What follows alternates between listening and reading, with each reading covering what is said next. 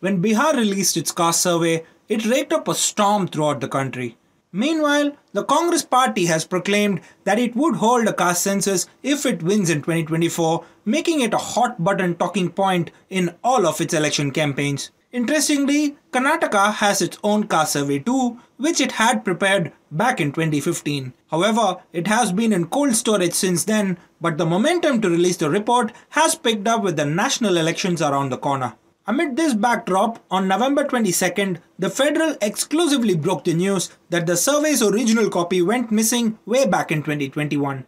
Government officials have only just admitted to it recently. Earlier, they had cited technical glitches as the reason for not releasing the report. The survey prepared by H. Kantharaj, who used to head the Backward Class Commission, went missing from the commission's strong room. But the problem is that these copies are not authorized versions, so it cannot be accepted by the government, leave alone implemented. The commission is now headed by Chairman K. Jayaprakash Hegde, who is preparing a new report based on the same data. Jayaprakash took charge as chairperson back in 2020 when the BJP government was in power. When the federal questioned Kantharaj, he denied that the report had gone missing.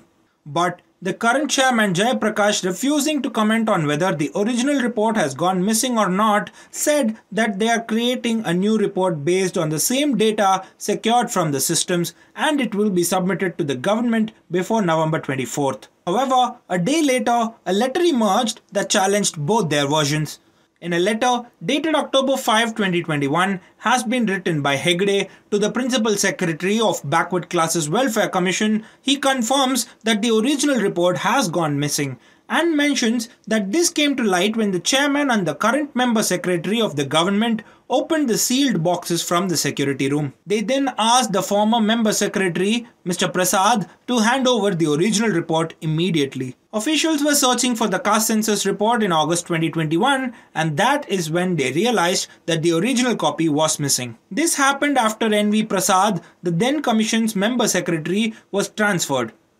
K. Dayanand, who took over, discovered that the original report was missing. So the question lingers why the BJP, who were in power back then, did not report this issue. Chief Minister Siddaramaiah, however, claimed that he was not aware of the missing report. According to sources, Siddaramaiah plans to tackle the issue only after the results of the upcoming five state assembly elections in December. However, if the report does get released, there are still legal challenges to overcome. The Commission may need to clarify the legitimacy of the report and explain why the earlier report was not submitted.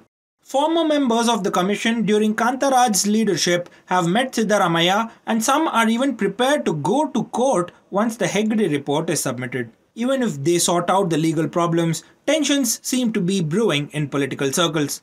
In Siddaramaiah's party itself, some important caste groups like Vokkaligas and Lingayats oppose the idea of a caste census as they fear reclassification of castes could get them sidelined. Siddaramaiah's deputy DK Shivakumar too is against it and has signed a memorandum urging the government to reject it and conduct a survey in a scientific way. So it will be interesting to see how the Congress handles its primary caste survey plank for getting back in power when a state ruled by the party seems to be in two minds over it and dithering to implement it.